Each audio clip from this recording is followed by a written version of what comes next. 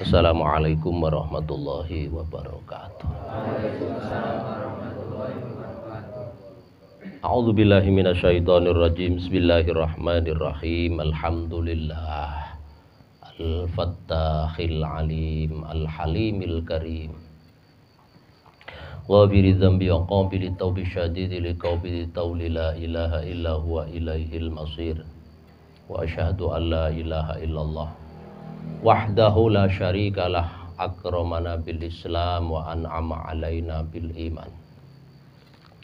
wa hadana ila tamassuki bil urwatil wusqa wal hablil aqwa wa dzalika bittiba'il qur'anil karim wal ihtida'i bis sunnatir rasulil azim wa asyhadu anna sayyidana muhammadan abduhu wa rasuluh sallallahu alaihi wasallam wa alihi wa sahbihi wa syarrafa wa karama fi kulli hinin abadan. Bi adadi ni'amillah wa ibdalih. Rabbi syarah li sadri wa yassir li amri. Wahlul 'uqdatam min lisani yafqahu qawli amma ba'du. Kanca-kanca mujahadah dalu hatan sedaya ingkang katresnan. Sahibil bait Mbak Afi. Leres nggih Mbak Afi nggih. Ingkang tuhu katresnan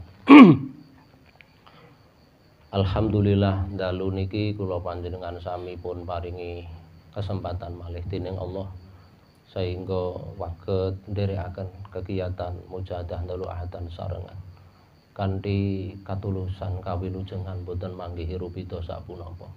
Mugi-mugi rangkaian kegiatan mujahadah ingkang nembe laksanan menika senantiasa dipun tampi dening Allah Subhanahu wa taala sehingga menapa menggah maksud tujuan khasiat manfaatipun waget waget kita pundut waget kita raosaken untuk kebajikan kehidupan kita pada masa-masa akan mendatang. Amin. Allahumma amin. Rencang-rencang sedaya ingkang dipun mulyakaken ada dua alternatif dalu niki ingkang badhe kita aturaken.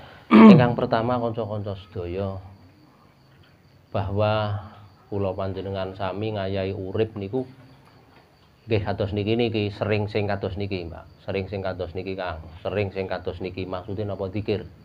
Sering dikira. Wis to. Inna dzikra tangfaul mukminin karena fadzakir inna fa'atiz dzikra atau fadzakir uh, inna madzikra tangfaul mukminin wis sering zikir nang Gusti Allah mergo zikir iku iso manfaati nang awake dhewe.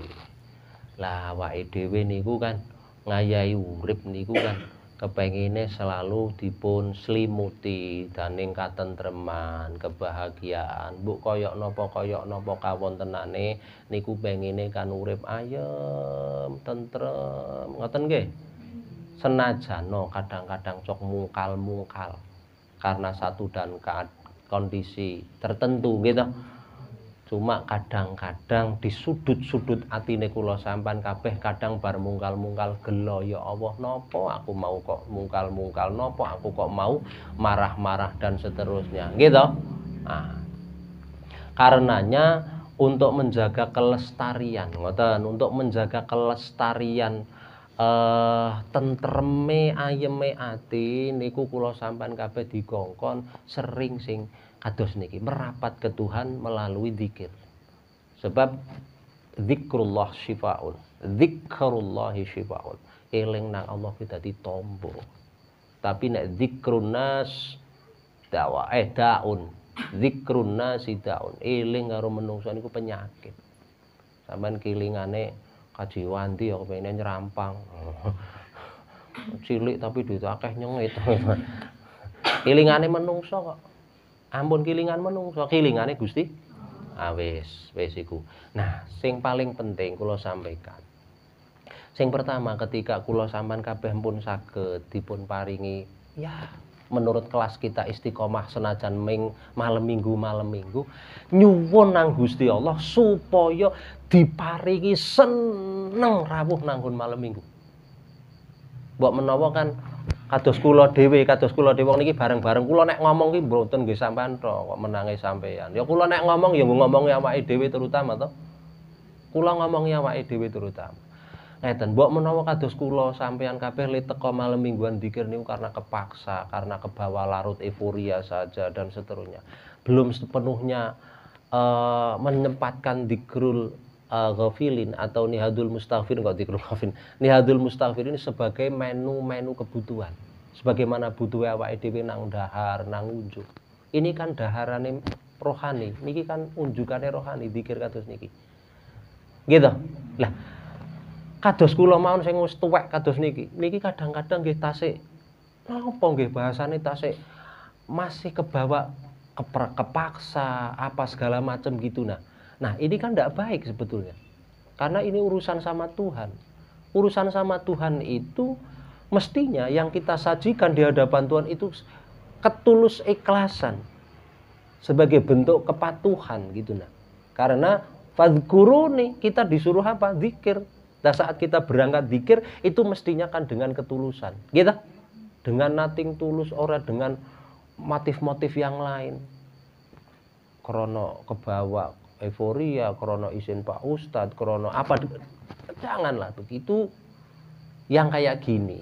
Pelan-pelan disuwun kenang Allah supaya disingkir-singkiri kali Gusti Allah. Supaya dikirin itu hanya semata-mata mengharap ridhonipun Gusti men diparingi seneng Gusti kula nyuwun dhateng panjenengan supados manah menika remen anggenipun eling dhateng panjenengan remen dikir dhateng panjenengan. Nyuwun. Terus. Nah niku ora gampang kan niku boten gampang. Ada dua langkah supaya awake dhewe niku saged nggadahi manah ingkang rada urip ingkang rada sehat. Ada dua langkah sing kula kelingan dalu niki napa? Sing pertama. Sing pertama awake dhewe niku kon dandani pikiran. Pikirane kon didandani. Loro dandani ati. Soalnya dikir ini kan urusan-urusan apa? Dikir niku urusan urusane ibadah. Ibadah niku urusane keikhlasan gitu. Lah ngerti nek ikhlas kuwi api nek ora ikhlas kuwi ora api kuwi ngerti berarti pikirannya kan wis jalan sebenarnya. Gitu. Nah tapi si ati ini kadang urung urung meng, urung mengamini apa kata pikiran. Si ati urung ngamini urung ikuti urung muri handayana ini apa kata pikiran. Sing pikiran ini dilandasi oleh pengetahuan tentunya. Lamilo dandane iku sing pertama iku awake dhewe niku nyuburno nyuburno fungsi-fungsine pikirane awake dhewe. Men fungsi pikiran itu bener-bener semelek sebagaimana fungsinya. Lah awake dhewe kan tasik sering antara nafsu karo pikiran isik dhuwur nafsu. Antara hati karo hawa isik dhuwur hawa. Seringnya kan ngados niku? Ya toh? Lah maka kembalikan fungsi hati dan fungsi pikiran sebagaimana uh, terciptanya. Pikiran ki kanggo mikir, ati kanggo gagas. Ngoten niku. Lah iku men kaya ngono iku carane dandanono. Pertama, kula sampean kabeh niku naik saged nggih men pikirane rada tumbuh subur pikiran ya utek ana tapi kan fungsi-fungsine iki kadang-kadang ora jalan ati ya ana tapi fungsine ora jalan juga podo karo motor motor ono tapi mesinnya mati. Medugrok to. Buatan sakit apa? Jalan. Kita pikiran punya tapi kadang-kadang fungsi pikiran nggak maksimal. Hati ono tapi fungsi hati tidak maksimal. Kenapa ini? Karena banyak virus banyak kotoran banyak bakteri banyak halangan-halangan sing menjadikan fungsi-fungsi pikiran dan hati itu terbengkelai. Begitu maksudnya Nah, dalu niki kula badhe maringi setunggal pitutur dateng kanca-kanca, terutama datang awak kula sampai nek kepingin sing kanca-kanca sing isih nang bangku sekolahan, nang bangku pendidikan, utawa kanca-kanca sing wis di luar pun. Iki sapa sing ora butuh pikirane bening, pikirane jernih, fungsine baik. Saya kira bekerja pun butuh pikiran, sehat, ya kan? Dan seterusnya, apalagi pelajar. Iki kula diijazahi kalih Kiai Haji Mustafa Ali. niku sampai naik saged sing gadah-gadah putra nang pendidikan kaya Mas Daryan, Kang Ibul, Kang Jikin. Nah iso iku diwacake Fatihah ping 70. Iku nyuci otak. Kudu nyuci otak gaya kono teroris bukan. Tapi maksudnya benengke utek men diresiki saka reget-reget diwacake 70 Fatihah ngadep banyu aqua utawa gelas monggo pokoke banyu putih. Niku mangke sedina diwaca sak jagongan. Sak jagongan sak lungguhan diwaca. Diselehke ngenjang wacake melih petung dosa sampai satu minggu baru diunjukke. Nggih dhewe saged nggih ngikhtiari tiyang sanes nggih saged. Niku bisa njernihke niki napa niki? Pikiran. Cara kerja kerja utek niku mending ana peningkatan mending ana tambahan. Insya Allah kula secara empirik sudah dari tahun ke tahun sudah membuktikan.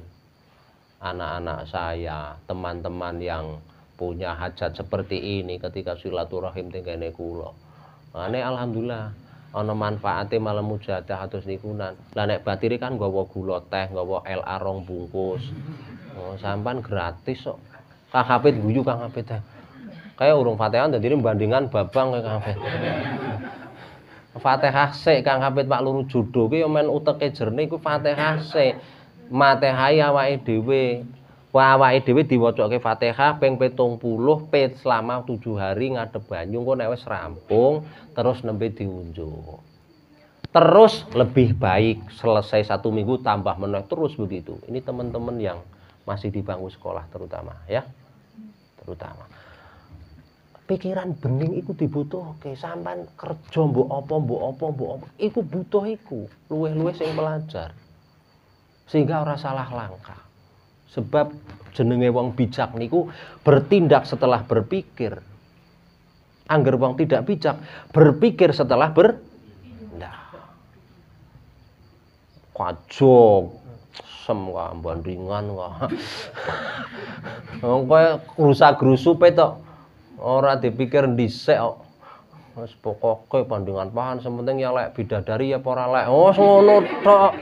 Ora karo orang orang orang ngerti ya bidadari kesiangan ya ora. Jadi babang dipikir sih dipikir sih baru bertindak. Jangan bertindak dulu baru dipikir. Itu orang bijak lebih ke mana mikir kalau pikiran aja ruwet nah kan begitu akhirnya. Nah berarti butuh betul nih butuh pikiran. Satu kula mboten tak tawak-tawake sampean rada wis ngonggor koyoke. Nomor loro kula tak ringkes-ringkes padahal kula pun betul kitab tapi kayaknya untuk malam ini belum. Nomor loro nyuci ati. Atine diresiki. Wong pakaian niku nek dienggo bae kotor lah pakaian dienggo kotor sih? Bisa resik dikapake meneh? Ya ya itu nah sampai nek saged ngamalke tibil kulub. Diposoni nyirih seminggu nggih kanggo santri-santri pelajar. Nek bangsa Kang Ibu lawas-lawas ya sempenting badhe salat 10 nah iso eh, ora sorry sorry 20 men sedina 100 syukur bagi sak lungguhan dadi ora mepal mepil mepal mepil uh, tukang kredit dadi seneng kredit. Satu jare tunggar salat saged mboten Pak Ustad. Kaya kelakuanmu kelakuan tukang kredit kok senengane 100 di kredit Oh, yo madhep kok. Ping 100 piro suwene kok 100 100 ya sing sampean pun apal niku tibil kulub itu. Tapi kula mbiyen ijazah kalih Mbah Dur Al lah niku nyireh nyireh kowe tarkuruh dadi poso engko buka sahure niku ninggalke sing unsur-unsur hayawani ditinggal. Ditinggal unsur-unsur hayawani kuwi jenenge poso nyireh tarkuruh iku poso seminggu lah iku nek sing ora poso wis pokoke Insya Allah itu aslinya dongo mandi kang tibil kulub itu wis tenan iku sampean. Oh sampean kadang-kadang ping ora yakin tok. Tenan iku. Jadi tibil kulub diwaca ping 100 kanggone sing ora poso. Lah nek sing poso kok nggo gula teh nang Pak Ustaz we modiar we Ustaz lho komersil banget. Mboten mboten. Guyon no sampean kok nang serius. Mboten mboten. Jadi mengko perlu dikopi. Maksudnya yang kepengen menghendaki tibil kulub dengan nyireh ya nanti berarti dikopi di tak kopeke maksudnya maksudnya nggon nggon aku no kopi di kopi baik gitu loh ya. Nah nanti tinggal sing kerso itu lebih baik. Itu lebih baik. Sampean insya Allah atine mengko sehat pertumbuhannya dengan Fatihah 70 tadi sampean bersih juga pikirannya sampai aja ngayai aktivitas menopo keman insya Allah insya Allah akan akan ada bedane dibanding wingi nalika urung dirinso uteke urung dirinso atine katen ya Ah, wae. Insya Allah nek wis tenang iki, ketenangan hidup arep arep batiri dewek terus. Insya Allah. Sebab urip tentrem, urip ayem niku modale niku pikiran karo ati dingin sing ayem. Mbok sampean duwite akeh nek dasare pikirane ruwet, atine ruwet ngalah, oh, apa maning ora duwe duit mbok duwite akeh tetep ruwet to. Oh, bukti kok ora duwe duit gemblebek duwe duit pecicilan maring matahari lah anak-anak tenange temenan iya iya kan gejok ora duwe duit gejok duwe duit gemblebek maring lingga ya jare rekreasi. Murono maring kali anget rekreasi gadaris gadar apa oleh si Pak Ustadz? Ya ngekenging betul apa. Tapi maksud iku aja aja keseringan dadine ora diarani pecicilan ya aku ya. Ngaten ya saya kira ini kawan-kawan ya. Jadi dua hal sampean sepindah nyuwuna nang Gusti Allah men diparingi ati karo pikiran sing lebih bersih lagi dan kemudian permintaan yang kedua nyuwun dipun paringi tetep seneng karo barang sing nentremke. Zikir kan barang sing nentremke. Ala bidzikrillah tatmainul qulub karo barang sing nentremke kan selama ini kula sampean kabeh gen rada wegah-wegah-wegah. Lah terpaksa, lah terpaksa. Padahal dhewek butuh tentrem tapi kon ngombe obat tentrem ka ora. Ya. Mumet kon ngombe paramek ora gelem ya wis jeleng nabae, ngelonjor apa. Ya, akhirnya begitu. tapi insya Allah ki parameke dumbe seleg alhamdulillah mending. Insya Allah begitu maksudnya. Saya kira ini mari kita bermohon sama Allah Mudah-mudahan kula panjenengan sami senantiasa dipun paringi kesabaran, kekuatan dan keikhlasan untuk menjalani tuntunan agama. Mugi-mugi kanthi istiqomah jalani tuntunan agama kula sampean kabeh pikantuk pitulung saking Allah Subhanahu wa taala. Mugi manfaat, kurang dan lebihnya mohon maaf. Wassalamualaikum warahmatullahi wabarakatuh.